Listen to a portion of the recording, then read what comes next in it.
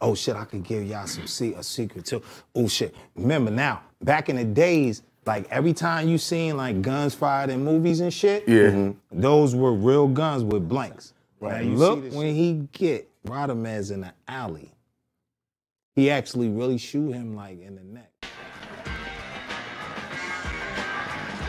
Lost. Like he, he had burn marks on from because it was a blank. from the blank, But if yeah. you see, he goes in the He goes like this. Yo, he hit him one time, back. And then when he hit him there, he hit him. Yo, that oh, that wasn't acting. That wasn't acting? That nigga went.